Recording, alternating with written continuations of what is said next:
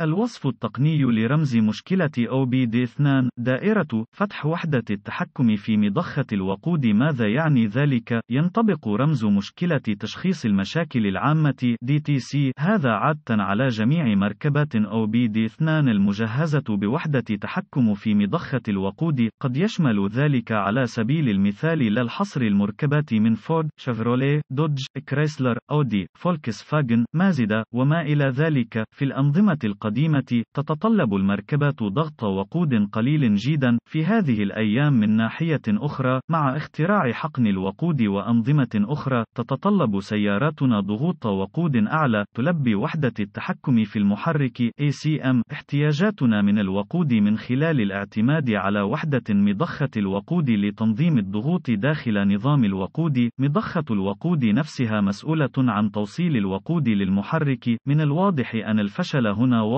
للغاية لأن سيارتك قد لا تبدأ حتى الأشياء الثلاثة الرئيسية التي يحتاج محرك الاحتراق الداخلي إلى تشغيلها هي الهواء والوقود والشرر. أي شخص من هؤلاء المفقودين ومحركك لن يعمل؟ يقوم ACM بتنشيط P025A والرموز المرتبطة به عندما يراقب حالة واحدة أو مضاعفات خارج نطاق كهربائي محدد داخل وحدة التحكم في مضخة الوقود أو دائرتها، يمكن أن يحدث هذا بسبب مشكلة ميكانيكية أو كهربائية. العمل مع حول هذه المادة المتطايرة يجعل من الخطير إلى حد ما تشخيص أو إصلاح أي شيء هنا، لذا تأكد من أنك مدرب بشكل صحيح وأنك على دراية بالمخاطر التي تنطوي عليها. P025A يتم تعيين رمز دائرة التحكم في وحدة مضخة الوقود عندما يراقب ECM عطلا عاما أو دائرة مفتوحة داخل وحدة مضخة الوقود أو دائرتها، وهي واحدة من أربعة رموز ذات صلة، وهي P025A و P025B و P025C و P025D. ما مدى خطورة هذا DTC؟ أود أن أقول أن شدة هذا الرمز ستحدده أعراضك. إذا لم تبدأ سيارتك، فسيكون ذلك شديدا. من ناحية أخرى، إذا كانت سيارتك تعمل بشكل طبيعي ولم تتأثر المسافة المقطوعة بالوقود وكان هذا الرمز نشطا، فهذا ليس موقفا شديد الخطورة، ومع ذلك قد يؤدي تجاهل أي خطأ إلى مزيد من الوقت والتكاليف. مثال على وحدة التحكم في مضخة الوقود، ما هي بعض أعراض الكود؟ قد تتضمن أعراض رمز مشكلة P025A ما يلي: لن يتم تشغيل المحرك بدء التشغيل الصعب توقف المحرك عدد الكيلومترات المقطوعة في الوقود ضعيفة مستوى الوقود غير دقيق رائحة الوقود ضعف أداء المحرك ما هي بعض الأسباب الشائعة للرمز. قد تتضمن أسباب هذا الرمز ما يلي وحدة مضخة الوقود المعيبة حطام مضخة الوقود المعيب في شاشة مضخة الوقود مشكلة الأسلاك. على سبيل المثال الأسلاك المتوترة المنصهرة القطع الفتح الخ. مشكلة الموصل. على سبيل المثال الانصهار قطع الاتصال. الاتصالات المتقطعة إلخ ACM مشكلة ما هي بعض خطوات استكشاف الأخطاء وإصلاحها P025A تأكد من التحقق من نشرات الخدمات الفنية لسيارتك. يمكن أن يوفر لك الوصول إلى إصلاح معروف الوقت والمال أثناء التشخيص.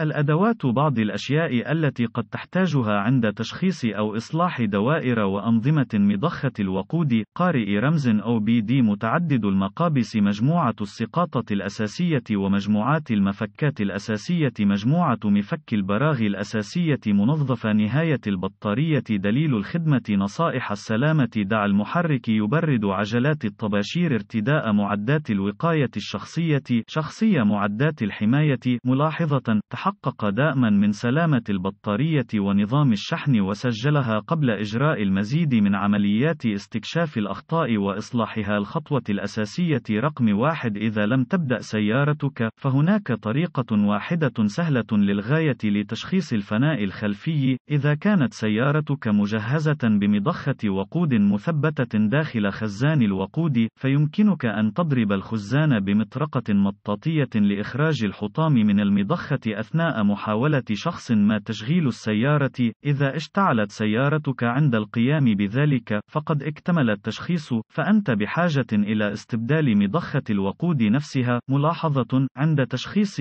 إصلاح أي شيء يتضمن نظام الوقود، تأكد من عدم وجود تسرب للوقود. يعد العمل حول الوقود باستخدام الأدوات المعدنية خطرًا يمكن تجنبه. كن حذرًا. الخطوة الأساسية رقم اثنان قم بإلقاء نظرة خاطفة على الموصلات والأسلاك، نظرًا لموقع معظم مضخات ودوائر الوقود، فقد يكون من الصعب الوصول إليها، قد تضطر إلى رفع السيارة بطريقة أو بأخرى، المنحدرات، الرافعة، المدرجات، الرافعة، ألخ، للوصول بشكل أفضل إلى الموصلات، عادة ما تكون أحزمة المضخة عرضة للظروف القاسية حيث يتم توجيه معظمها تحت السيارة، تأكد من أن الموصلات مثبتة بشكل صحيح. وأنها غير تالفة. ملاحظة: في بعض الأحيان يتم توجيه هذه الحزام على طول قضبان الإطار، وألواح الروك وغيرها من الأماكن التي يكون فيها ضغط الأسلاك شائعًا. نصيحة أساسية هاش ثلاثة اختبر المضخة. قد لا يكون اختبار مضخة الوقود مهمة سهلة. إذا كان موصل مضخة الوقود يمكن الوصول إليه، فيمكنك استخدام جهاز القياس المتعدد الخاص بك لإجراء سلسلة من الاختبارات للتحقق من وظيفة مضخة الوقود نفسها. ملاحظة: ارجع إلى دليل الخدمة الخاص بك لمعرفة الاختبارات المحددة التي يمكن إجراؤها هنا. لا يوجد اختبار عام هنا، لذا تأكد من أن لديك المعلومات الصحيحة قبل المتابعة. الخطوة الأساسية رقم أربعة: هل هناك مصهر؟ ربما تتابع. إذا كان الأمر كذلك، تحقق من هذه. على وجه التحديد، قد يؤدي المصهر المنفوخ إلى حالة مفتوحة مع الدائرة P025A. الخطوة الأساسية رقم خمسة للتحقق من سلامة الأسلاك داخل الدائرة، قد تتمكن من فصل الدائرة في كل من مضخة الوقود و ECM. إذا كان ذلك ممكنا، يمكنك إجراء سلسلة من الاختبارات لتحديد: واحد إذا كان هناك خلل في الأسلاك و أو اثنان ما هو نوع الخطأ الموجود.